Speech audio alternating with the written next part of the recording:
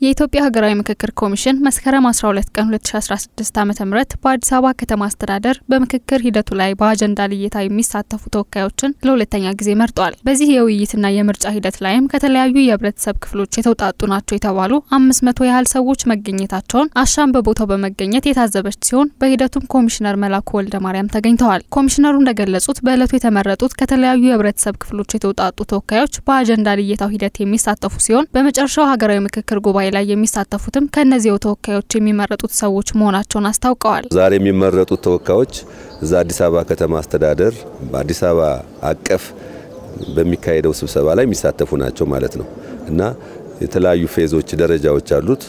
አዲስ አበባ አቀፍ፣ ድሬዳዋ አቀፍ፣ ክልል አቀፍ እነዚህ አጀንዳ የሚሰበሰቡባቸው መድረኮች አሉ።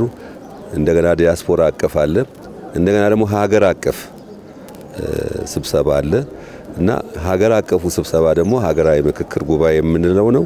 እሱ ላይ ያው አጀንዳዎች የተቀረጹ አጀንዳዎች በሀገራዊ ምክክር ኮሚሽን ምክር ቤት ቀርበው የተለዩ በጣም ዋነኛ የሚባሉ እጅግ መሰረታዊ የሚባሉ ለሀገራችን ኢትዮጵያ መጻኢ ዕድል ወሳኝነት አላቸው የሚባሉ አጀንዳዎች ተቀርጸው የሚቀርቡበት እንትን ነው ስርዓት ነው። የሀገራዊ ምክክር የመጨረሻውን ጉባኤ እስከ ጥር ወር ባለው ለማካሄድ መታቀዱን ያነሱት ኮሚሽነሩ ይህም ሀገሪቱ ካለችበት ሁኔታ አንጻር እቅዱ ሊሳካ አሊያም ሊራዘም እንደሚችል አመልክተዋል። በዚህ በተወካዮች የምርጫ ሂደት ላይ ለመሳተፍ የተገኙ የማህበረሰብ ክፍሎችን በኮሚሽኑ ሰራተኞች ስለ ሀገራዊ ምክክር ሂደት ጽንሰ ሀሳብና ስለ ኮሚሽኑ ስራዎች ገለጻ የተደረገላቸው ሲሆን ያላቸውን ጥያቄዎችም አንስተዋል። አካል ጉዳተኞች አስር percent መሆኑን በተሰጠን በራሪ ወረቀት ላይ መረዳት ችለናል። ነገር ግን በክፍለ ከተማችን በርካታ አካል ጉዳተኞችን ያለው አይደለም አስር percent አንድ percent አልመጣም። አካል ጉዳተኛ በሀገራችን ከወሰን ከሰላሳ ሚሊዮን በላይ ከሶስት መቶ ሺህ ምናምን በላይ አካል ጉዳተኛ እንዳለ ይነገራል።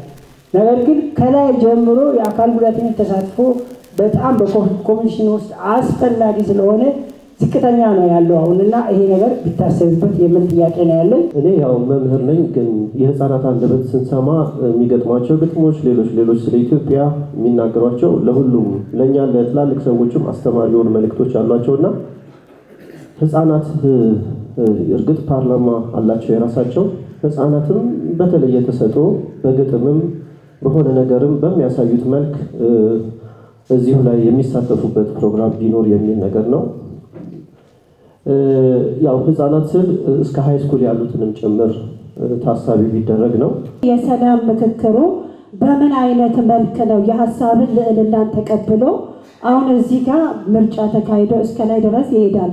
ነገር ግን ምን ያህል ነው የሀገራችን የኢትዮጵያ መንግስት ወደ ጠረጴዛ ዙሪያ globalization ነው ተምሬያለሁ፣ አውቃለሁ፣ ብዙ ምሁራን አለ፣ ብዙ ፕሮፌሰር ዶክተር ያላት ሀገር ናት።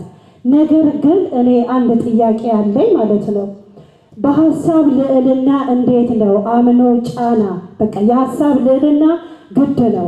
እኛ የሚሻለንን እኛ ትግራይ ሆነ ኦሮሚያ ሆነ የየትኛውን ብሔር ብሔረሰብ ዛሬ ህዝቡ የነቃ ነው። አስተሳሰባችን አስፍተን በሀሳብ ልዕልና እንዴት ነው መስራት የሚችለው? ይሄንን ጥያቄ ነው እኔ የምጠይቀው። በእነዚህ ጥያቄዎች ዙሪያም ኮሚሽነሩ ምላሽ ያሉትን ሰጥተዋል። ለምንድን ነው ግን ይህን ሁሉ ህዝብ ማሳተፍ ያስፈለገው? እስከ ዛሬ ድረስ በኢትዮጵያ ታሪክ በሀገሩ ጉዳይ ሰው ቁጭ ብሎ መክሮ አቅም ነው። በተወሰኑ ሰዎች የተዘጋጀለት ይወርዳል እንጂ ራሱ በራሱ የሚወስን ተነጋግሮ ወስኖ እንካችሁ የሚልበት ስርዓት አልተፈጠረም ነው። ስለ አካል ጉዳተኞች የተነሳ ነገር አለ በተደጋጋሚ ማለት ነው። ለአካል ጉዳተኞች በእውነት ይሄ ኮሚሽን ትልቅ ስፍራ ነው የሰጠው። ቅድም እንደተገለጸው አስር ከመቶ የሚሆኑት እዛ ውስጥ መግባት አለባቸው በሚል የአሰራር ስርዓት ዘርግተናል። እሱ ብቻ አይደለም። አንድ ወንድሜ ሲናገር ቤትም ቦታ አይታዩም ብሏል።